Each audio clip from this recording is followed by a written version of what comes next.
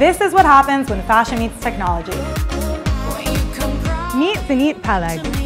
Danit is the first person in the world to create an entire fashion line using only an at-home 3D printer. So that's the first garment I ever printed in 3D. This is so awesome. And that's a dress I presented at the opening ceremony of the Paralympics Games. The Olympics.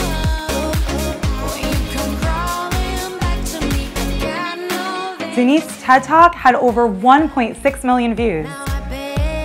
What do we see here? That's a part of a shoe. I can play with the size of it, with the density of the material. Basically, your imagination is the only limitation you have with these technologies. You could be part of the design.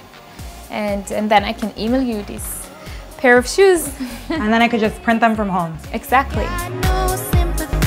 My inspiration for the patterns of my style basically started with the traditional lace and I just tried to combine the innovative technology into it.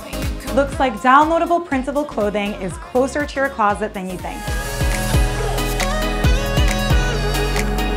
Meet Eden Sajon. Eden creates gorgeous lace pieces using a 3D sculpting pen. Ta-da! Wow, stunning! Since all her pieces are handmade, they are truly one of a kind. It is created by the 3D pen, 100% handmade. So you can create a bunch of these and come out with something like this? There's a lot of colors to put wow. inside the pen. And then when the light is blue, you can start drawing.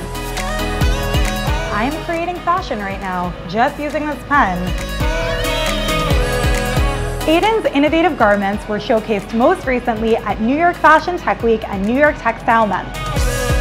I think this will be totally part of the future of fashion.